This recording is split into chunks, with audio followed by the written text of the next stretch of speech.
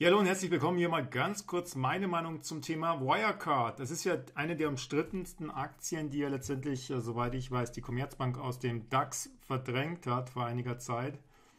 Und äh, darauf setzen ja ganz viele Deutsche die Hoffnung, ihr oder ja ihre Hoffnung. Das war schon, äh, als ich beim Live-Event war in München. Das war so im Februar, März, glaube ich, bei diesen äh, Börsentagen dort.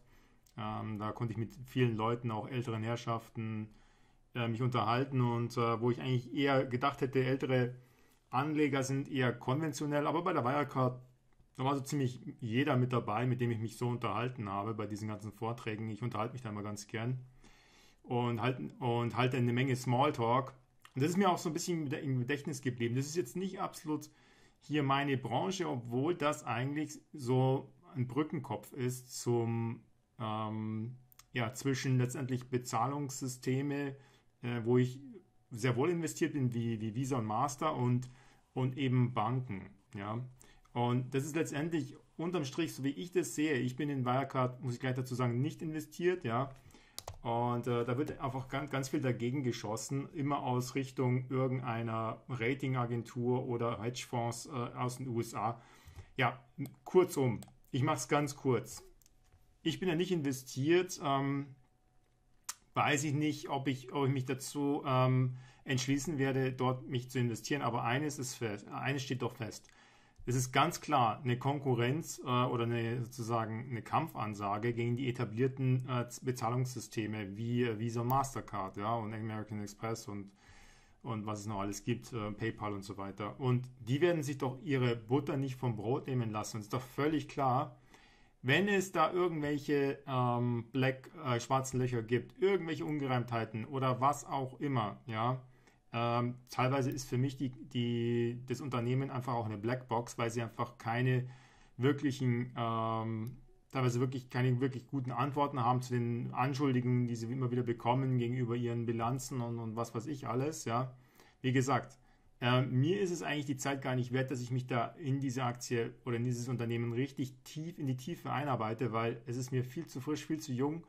Ähm, es ist sehr risikobehaftet und all diese Themen, und das wäre eigentlich gar nicht, das sind andere Aktien auch, aber was halt e-, eben wirklich hinzukommt, ähm, das ist die, die Aktie letztendlich mit ihrem, mit ihrem Angebot und ihrer Dienstleistung ähm, hat letztendlich eine Kampfansage gemacht gegen die Großen wie Visa und Master. Und ähm, ich denke mal, dass die sich eben nicht die Butter vom Brot nehmen lassen. Das ist mal so in a nutshell, also in einer Nussschale mal für mich analysiert das Ganze. Und äh, was mich betrifft persönlich, ähm, kann es durchaus sein, das ist meine persönliche Meinung, dass einfach eines Tages, dass die einfach so lange dagegen feuern, bis der Preis halt einfach wieder absackt, ja ähm, und zwar, es gibt ja einige Analysten, die sagen, naja, alles jederzeit nachkaufen, sobald das Ding wieder hier auf 100 runter ist oder jetzt wie 114, 115, ja, es lohnt sich auf jeden Fall, es ist eine Zukunftsaktie, da, da, da, da.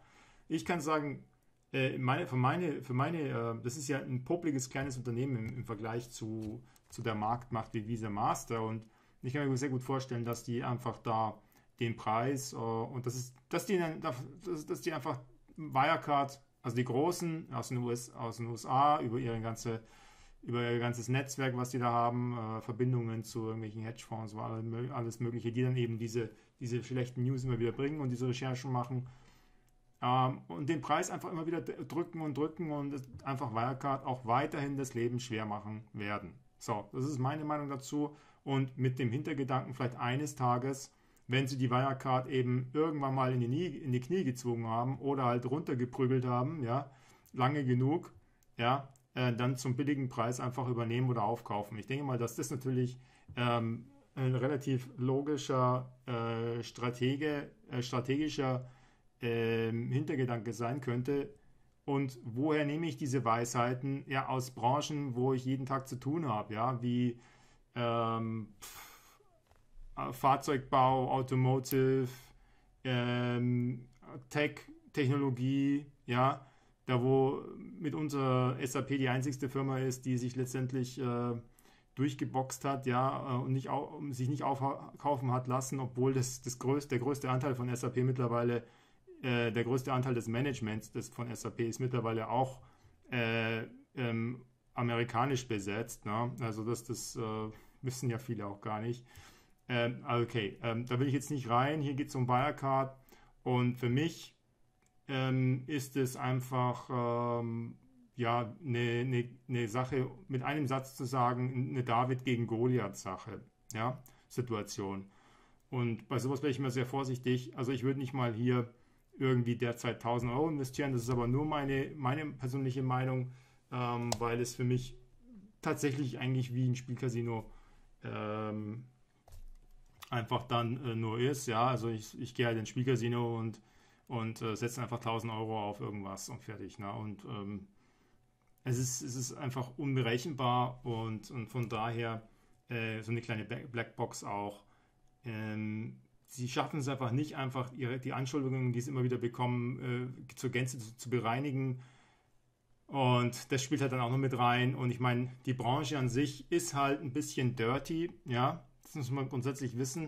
Und wenn man eben die, die, nötige, die nötige Marktmacht nicht dazu besitzt, um seine, seine sozusagen seine, ja, ähm, wie soll ich sagen, das Ganze zu, zu abzudecken, abzucovern, ja, dann wird man es eben schwer haben. Ja, äh, denn es gibt keine Bank, die nicht, nicht irgendwie, äh, meiner Meinung nach, irgendwie, ähm, ja, ich will jetzt hier nichts Falsches sagen, irgendwelche Lücken hat.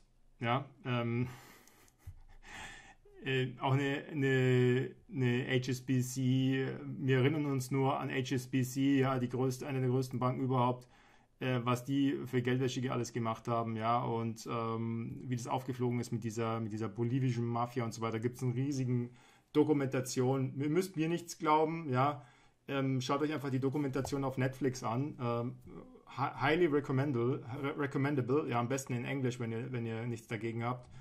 Ähm, einfach im Original anschauen, das ist unglaublich. Und mein Gott, die waren dann vor Gericht in den USA und alles und mussten dann ein bisschen Strafe zahlen, irgendwelche publiken ähm, Summen und dann ist eigentlich nie was passiert, ja. Und das ist einfach die Branche und deswegen bin ich da auch selten bis gar nicht investiert. Ähm, ich bin einfach nur in so Bezahlungs-, reine Bezahlungssysteme investiert, wie Visa Master. Ich sage das immer wieder. Ich habe in meinem ganzen Leben noch keine einzige Bankaktie besessen, ja. Und ähm, tja, so, das war mein Fazit zum Thema Wirecard, weil einfach ständig diese, diese, diese, dieser Hype um diese, diese, diese Aktie da halt ist, auch verständlich, ja. So, so ein kleiner Hoffnungsträger, ähm, äh, modern und zukunftsorientiertes Unternehmen in, im DAX, ne? gibt es ja nicht so viele davon, ähm, die zu, zudem auch noch äh, deutschen äh, oder, oder europäischen Investoren dann auch noch gehört, zum Großteil.